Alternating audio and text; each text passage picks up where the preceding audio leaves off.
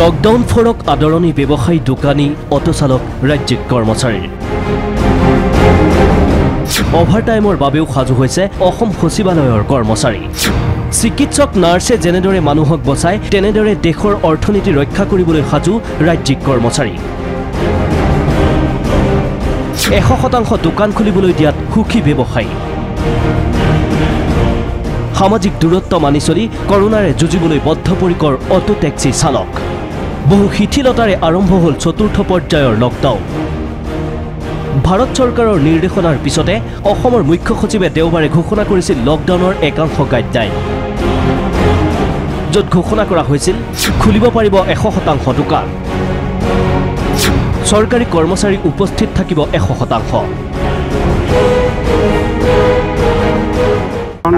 লোকচান হৈছে চৰকাৰৰ গতিকে এই লোকচানবিলাক আমি কেনেকৈ পাৰোঁ যিমানখিনি পাৰোঁ আমি পূৰণ কৰিবৰ কাৰণে চেষ্টা কৰিবই লাগিব। এনে সময়ত যদি চৰকাৰে কয় যে আপোনালোকে অতিৰিক্ত অলপ সময় কাম কৰক তেনেহ'লে সাজু থাকিবনে আমি সেইটোত সাজু আছোঁ।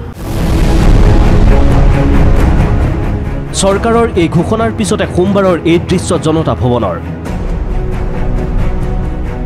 অৱশ্যে পূৰ্বৰ নিৰ্দেশনা মতে জনতা ভৱনলৈ আহিছে চৰকাৰী কৰ্মচাৰী।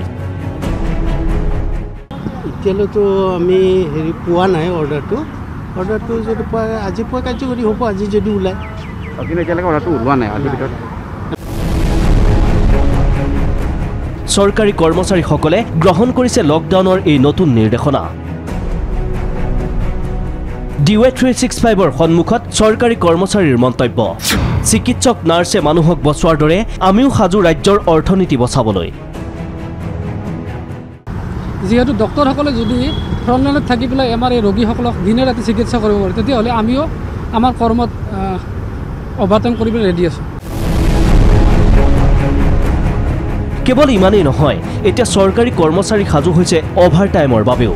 দুমাহে স্তব্ধ হোৱা কাম কাজসমূহক এতিয়া গতি দিবলৈ সাজু হৈছে চৰকাৰী কৰ্মচাৰী। এই পঁচপন্ন দিন ধৰি চৌৱন্ন পঁচপন্ন দিন ধৰি পেলাই আপোনাৰ অফিচত কোনো কোনো কাম কাজেই হোৱা নাই বুলি ক'ব পাৰি কোনো ডিপাৰ্টমেণ্টত হোৱা নাই। মইতো এতিয়া গাঁৱত গৈ পেলাই হাল মাৰি হাল হাল বাই খেতি কৰি খা খাব নোৱাৰোঁ। এতিয়া এইটো খেতিকে যদি আপুনি দুঘণ্টা বেছিকৈ নকৰে কেনেকৈ হ'ব? অতিৰিক্ত সময় যদি কৰিব দিয়ে কৰিব পাৰিব। একদম ৰেডি আমি। ভালে পাইছোঁ কাৰণ কামটো হ'বই লাগিব ন? কামখিনি বহুত আধৰুৱা কাম আছে অঁ অঁ চেচ হ'ব লাগিব কামবোৰ। আনহাতে লকডাউন চাৰিৰ নিৰ্দেশনাৰ পিছত গুৱাহাটীত খুলিছে প্ৰায় সংখ্যকেই দোকান। গণেশগুৰি পল্টন বজাৰ চানমাৰী সকলোতে দোকান পোহাৰ খুলিছে। দোকানী ব্যৱসায়ীসকলেও লকডাউনৰ নীতি নিৰ্দেশনা মানি চলি সাজু হৈছে ব্যৱসায় কৰিবলৈ। বহুত দিন বন্ধ আজি দুই মাহৰ পৰা বন্ধই আছে। দুই মাহৰ পৰা? চৌব্বিছ মাৰ্চৰ পৰা বন্ধই হৈ আছে। চেনিটাইজাৰ ৰাখিছোঁ আমি। ৰাখিছে? হা? মাস্ক। পিন্ধি আছোঁ। মাছ মাংসৰ বজাৰত একেই পৰিৱেশ। দোকান পোহাৰ খুলিছে সম্পূৰ্ণৰূপে। অৱশ্যে বহু ক্ষেত্ৰত দেখা পোৱা নাযায় সামাজিক দূৰত্ব। এটা ইমান দিন পাৰত আমি বহিকিনি ঘৰত আছিলোঁ। আজি আহিছোঁ দোকানত খুলিছোঁ ইমান মানে আমাৰ কমিটি মানে কৈছে বোলে দুটা দোকান এৰি এৰি এটা এটা দোকান খুলিব দিছে।